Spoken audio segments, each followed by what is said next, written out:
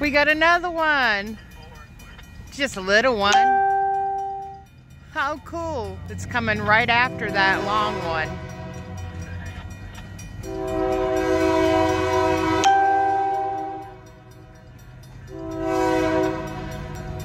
Still in Richburg.